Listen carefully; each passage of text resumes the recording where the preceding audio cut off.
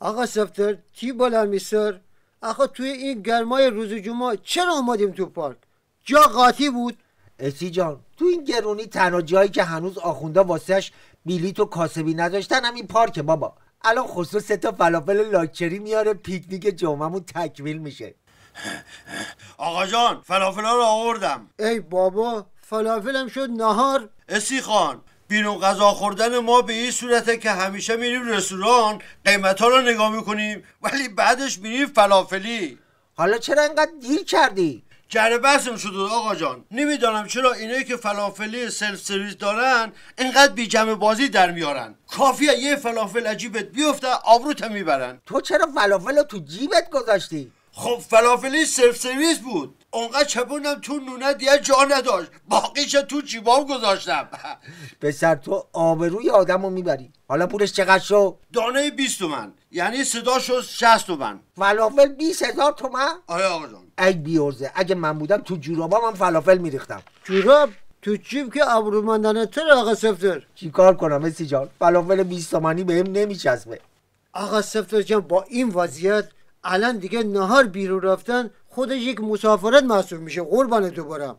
کجاشو دیدی؟ قیمت ها یه طوری شده که اگه در ماست لیست نزنی ده هزار تومن از دست در رفته. آقا سفتر ناگفته نمونه. دیروز با رفقای دانشگاهیم اومدیم دونگ بذاریم رو هم تابستونی بریم مسافرت. دیدم با اون پولی که ما داریم تنجایی که می‌تونیم بریم توی فکر قربان تو برم. اوه اوه اوه. آخونده رو نگاه آقا جان. چه خیکی داره. هرچی ما نخوردیم انگار این بلیده. او چی جانوری جانا تو ابعادش مثل خرجه نظام احمد خادمی میمونه.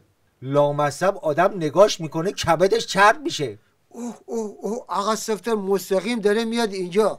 آقا جان ها بعد از فلافل بیستومنی لحاظ روحی نیاز دارم بگیرم یه آخوند تا می‌خوره کتکش بزنم شاید یکم اعصابم آرام بشه. نوش جان دوستان جای ما برو تو دلش ما هم پشتتیم به به چه خانواده متدینی چه محاسنی. پسر جان من کمر در دارم بی زحمت پاشوی چند دقیقه. اینجا جلوس کنم و در جوار شما بنشینم. تو زیادی رو منبر نشستی. یکم وایسی برات بد نیست.